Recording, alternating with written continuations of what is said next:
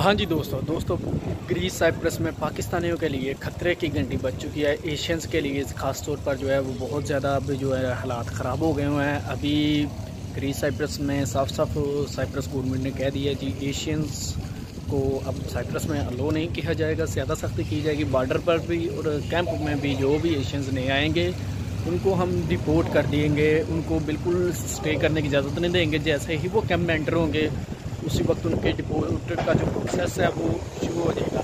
और अब जो साइप्रस में स्टे करने की इजाज़त बहुत मुश्किल से मिलेगी। जी ये साइप्रस गवर्नमेंट का कहना है तो इसीलिए अब हालात और ज़्यादा ख़राब हो गया इमिग्रेशन बहुत सख्ती कर रही है। जी और दोस्तों साइप्रस गवर्नमेंट इस वक्त बहुत सख्त एक्शन ले रही है। बहुत सख्ती हो गई हुई है। वो ना पुलिस और इमिग्रेशन जो है दोनों पे ही अपना वो अरेस्ट कर रहे हैं जहाँ पे वो देख रहे हैं।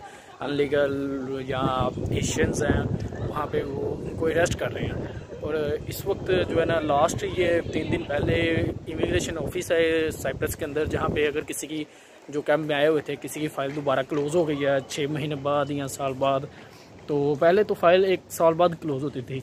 लेकिन अब ये भी चेंज हो गया अब तकरीबन फ़ाइल जो है ना मिनिमम ज़्यादा से ज़्यादा वो एक साल नहीं, बल्कि आप यूँ लगा लें, चार महीने या छः महीने गुजारती है।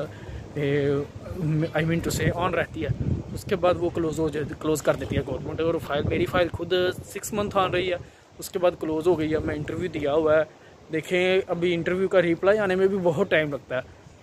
मिनिमम इंटरव्यू का रिप्लाई भी चार से पाँच मंथ बाद ही आता है जाकर। और इसी वजह से कंडीशन और ज़्यादा ख़राब हो गई हैं। और लास्ट तीन दिन में इमिग्रेशन ऑफ़िस जाके उन्होंने ट्वेंटी फाइव जो गए हुए थे लोग इंटरव्यू देने, एक दिन में वो पच्चीस लोगों का इंटरव्यू करते हैं।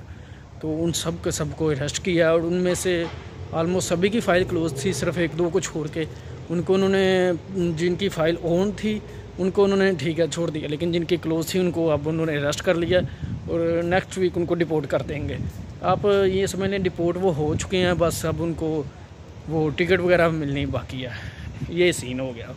हाँ जी तो साइप्रस गवर्नमेंट ने जैसे कि सबको कह दिया, जी अब आप ना आए, और उसने जो यूरोपीय यूनियन की जो उनकी एक मुतहदा, एक ऑर्गेनाइजेशन है यू एन ओ, उसमें उन्होंने कहा है जी हम साइप्रस में अब वो और ज़्यादा जो है ना वो रिफ्यूजीज़ हैंडल नहीं कर सकते क्योंकि पहले ही बहुत ज़्यादा हो चुके हैं। आलमोस्ट ये कहा गया जी, पिछले तीन साल में 2018 से लेके 21 तक का जो डाटा था, उसमें उन्होंने बोला है जी, कम पेश जो है वो अस्सी हज़ार जो एशियंस हैं वो आए हैं साइप्रस अस्सी हज़ार एशियन आप खुद सोचे तीन सालों में साइप्रस का कितना कितना इनके ऊपर बर्डन हो गया साइप्रस के ऊपर भी। और इसीलिए सख्ती भी अब ज़्यादा हो गई और अब चूँकि गवर्नमेंट चेंज हुई है, और गवर्नमेंट चेंज होने की वजह से यहाँ वो बहुत ज़्यादा सख्ती कर रहे हैं। अभी 2023 का जैसे ही ये पहला दूसरा महीना था, बहुत ज़्यादा सख्ती थी। इन दो तीन महीनों में उन्होंने आलमोस्ट साढ़े तीन सौ जो बंदा है, वो डिपोर्ट भी कर दिया साढ़े तीन सौ डिपोर्ट कर दिए एशियंस और इनमें कुछ हैं जो अफ्रीकन भी हैं, लेकिन अफ्रीकन बहुत कम जो है वो डिपोर्ट होते हैं। ज़्यादातर एशियंस को ही वो डिपोर्ट वगैरह कर रहे हैं। हाँ जी दोस्तों साइप्रस में बहुत ज़्यादा हालात ख़राब हो गए हैं और जो फ़िलहाल न्यूज़ चली है, इसके मुताबिक आलमोस्ट एक या दो महीना और इसी तरह के हालात रहेंगे तो इसलिए ये दो महीने आप परहेज़ करें, दो महीना बचें। और कह रहे हैं कि मई में जाके हालात जो हैं वो बेहतर हो जाएँगे। मई में सख्ती भी कम हो जाएगी और मे भी मे भी, पक्की बात नहीं, लेकिन मे भी कि दोबारा पेपर्स वगैरह ओपन हो जाएँ। तो इसलिए फ़िलहाल साइप्रस जो आना चाहते हैं, वो भी अपना प्रोग्राम पोस्टपोन कर दें एक दो महीने के लिए।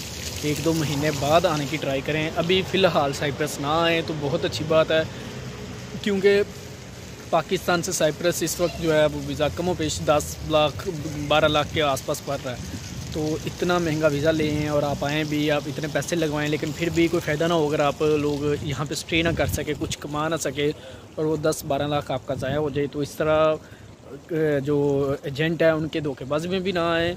एजेंटों की वो तो कहेंगे जी आप जाएँ, वहाँ पर जन्नत है, वहाँ पर ये है, वहाँ पर वो है, वो यूरोप है, वहाँ पर पासपोर्ट मिलेगा। बिल्कुल कुछ ऐसा नहीं है, फ़िलहाल के लिए। तो चलें ठीक है, फिर आप अपना ख्याल रखेंगे। उम्मीद है आप लोगों को मेरी वीडियो पसंद होगी। ओके जी ना